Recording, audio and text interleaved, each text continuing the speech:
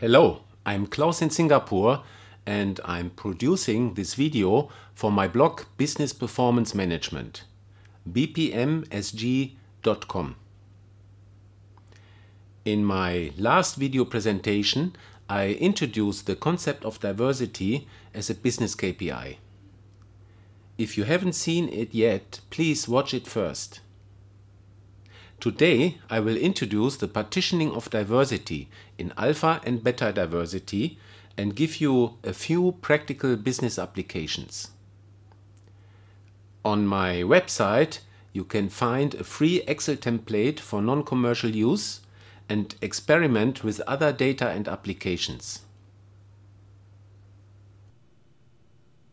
We will use the Shannon entropy, also named Shannon diversity index, to describe diversity. Taking the natural logarithm, we can convert to true diversity numbers using the exponential function. For an equal distribution, the maximum of the Shannon entropy equals the natural logarithm of richness r, or number of classes in the distribution. The minimum is zero when our proportional variable is concentrated in one category only. The more unequal the proportional abundances, the smaller the Shannon entropy. Therefore, high Shannon entropy stands for high, low Shannon entropy for low diversity. Let us go back to our example of selling different drinks in a restaurant. With seven types of drinks equally selling, the Shannon entropy is logarithm of 7 or 1.95. Now let us assume we manage restaurants at seven different locations and we get a monthly summary report of total sales of the different type of drinks. Does it mean we are selling all drinks evenly at all locations? There are two extreme possibilities. The first one, yes. At each location, we sell evenly all types of drinks. High diversity or Shannon entropy of 1.95 in Boston, New York, Denver, etc., resulting in a high diversity of sales for the total sales area. What is the second possibility? In Boston, we are selling coffee only, low diversity with Shannon entropy of zero. Similar in New York. Here we are selling tea only, low diversity with Shannon entropy of zero, but selling a different type of drink, tea instead of coffee. Similar in Denver with Coke and so on.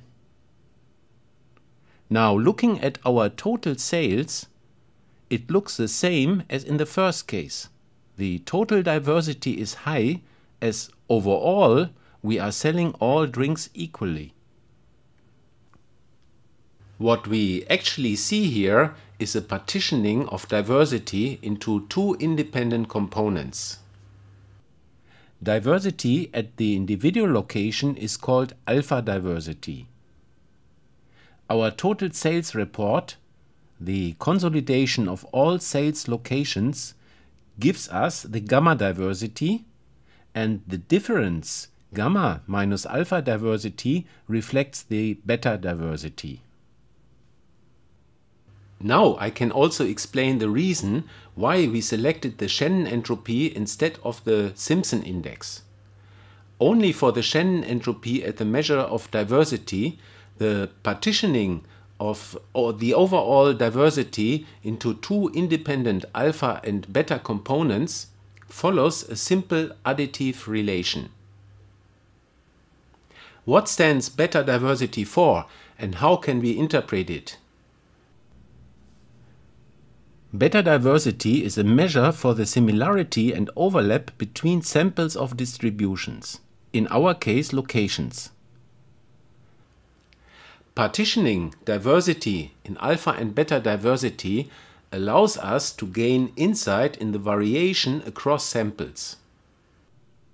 The concept of alpha and beta diversity can be very useful in many applications. For example, comparing and analyzing sales distributions in different sales areas, cluster marketing, investment diversification over time periods, or measuring consensus in group decision making. How can it be done? Let us take the example of comparing the proportional sales at different sales locations. We arrange the locations as rows and columns to form a matrix. And then make a pairwise comparison of sales at each location with all other locations, calculating beta entropy for each cell in the matrix. In our example, sales distribution in Boston is different from New York, high beta entropy. Sales distribution in New York is similar to Denver, low beta diversity. If we mark high and low entropy in different colors, we recognize clusters of high similarity between locations. Let us have a look at some actual figures coming from a real company. I compared the sales distribution of different product segments at 20 sales locations and you can easily identify four clusters with low beta diversity and therefore high similarity of the markets. Changing to alpha diversity, we see that the first one of the clusters represents a low diversified market. The second and fourth, a medium diversified market, and the third, a well diversified market. Based on this analysis, we could use the clustering of sales locations to develop common marketing measures for each cluster of similar markets. As another example, let us investigate the diversification of a finance portfolio over time. Our strategy was to diversify the investment by spreading our investment into different classes of financial instruments like equity, money market, bonds and fixed income. From year 2004 to 2013, alpha diversity changed from 3.7 to 7. Beta diversity shows that the diversification was achieved in steps of 2 and 3 year changes. Let me summarize. We use the Shannon Diversity Index, the Shannon entropy, as a measure to describe diversity. Equal distributions result in high Shannon entropy. The more unequal the distribution, the smaller the Shannon entropy. Diversity for a set of data samples can be partitioned into two independent components, alpha and beta diversity. Beta diversity is a measure for similarity and overlap between samples of distributions. Partitioning diversity in alpha and beta diversity allows us to gain insight in the variation of distributions across samples. Examples of applications in the field of business analysis are comparison of sales distributions, cluster marketing, or the analysis of investment and diversifications of financial assets over time periods.